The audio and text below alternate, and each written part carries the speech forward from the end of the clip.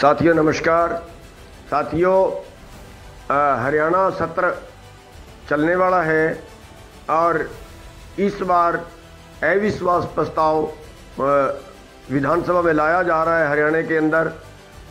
इन कानूनों को जो नए कानून बनाए हैं, इनके विरोध में साथियों, जो सभी एमएलए हैं, उन सभी को आप लोग ज्ञापन दें जो बीजेपी के और जेजेपी के या आज़ाद एमएलए हैं। इन सभी एमएलओ को आप ज्ञापन दें। एक एक दिन का उनके सामने प्रदर्शन करें और ये प्रोग्राम आप नौ तारीख को सभी जगह पे करना है। जितने बीजेपी के, जेजेपी के या आज़ाद एमएलए हैं, जो सरकार के साथ हैं, उनके सभी के घरों पे जाके आपने प्रदर्शन करना है।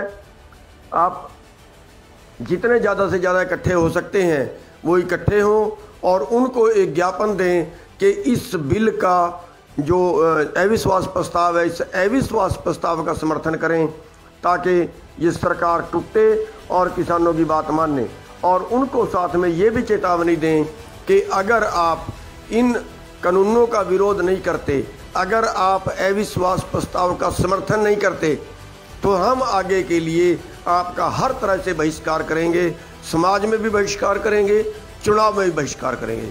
तो साथियों, ये नौ तारीख का प्रोग्राम रखा गया है।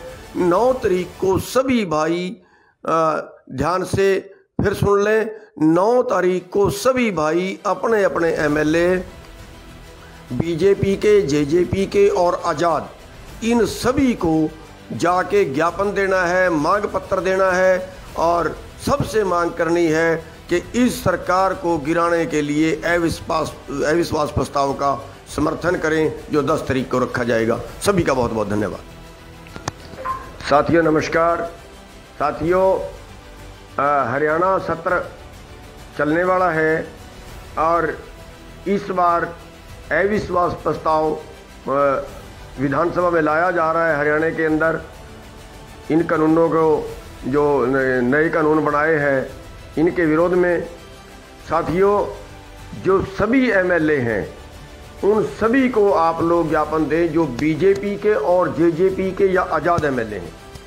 इन सभी एमएलओ को आप ज्ञापन दें एक एक दिन का उनके सामने प्रदर्शन करें और ये प्रोग्राम आप नौ तारीख को सभी जगह पे करना है।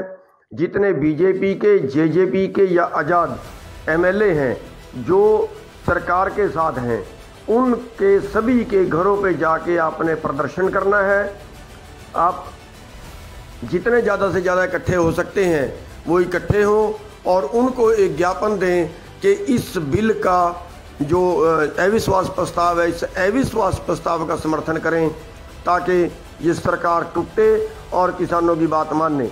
और उनको साथ में ये भी चेतावनी दें कि अगर आप इन कानूनों का विरोध नहीं करते, अगर आप अविश्वास प्रस्ताव का समर्थन नहीं करते तो हम आगे के लिए आपका हर तरह से बहिष्कार करेंगे, समाज में भी बहिष्कार करेंगे, चुनाव में भी बहिष्कार करेंगे।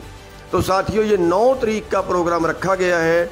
नौ तारीख को सभी भाई ध्यान से फिर सुन लें।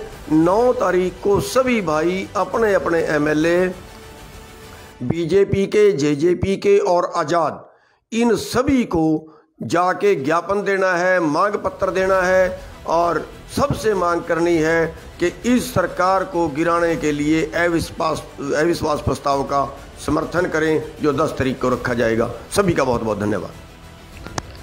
साथियों, नमस्कार।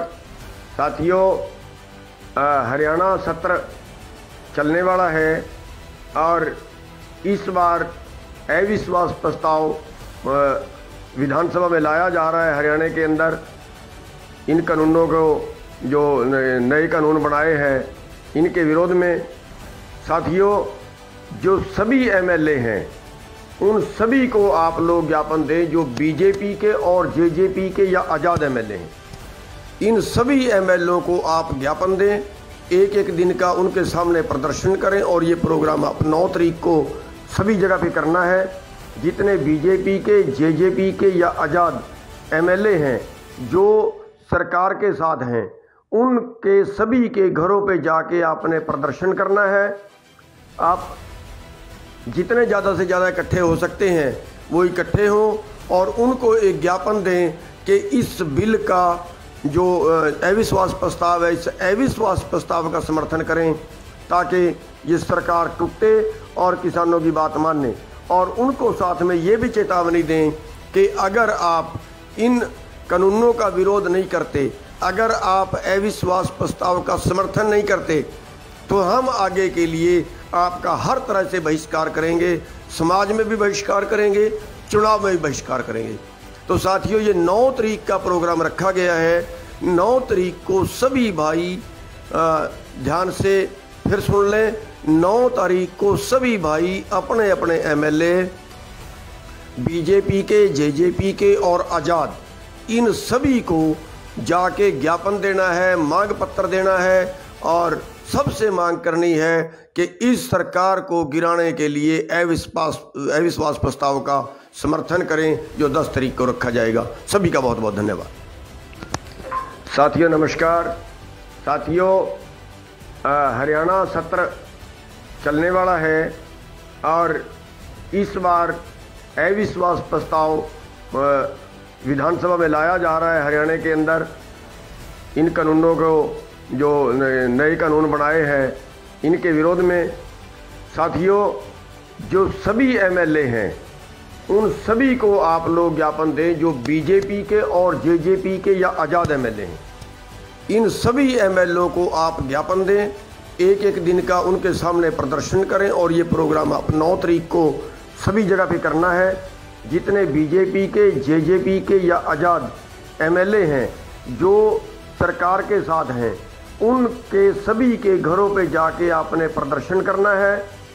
आप जितने ज़्यादा से ज़्यादा इकट्ठे हो सकते हैं, वो इकट्ठे हों और उनको एक ज्ञापन दें कि इस बिल का जो अविश्वास प्रस्ताव है, इस अविश्वास प्रस्ताव का समर्थन करें ताकि ये सरकार टूटे और किसानों की बात माने।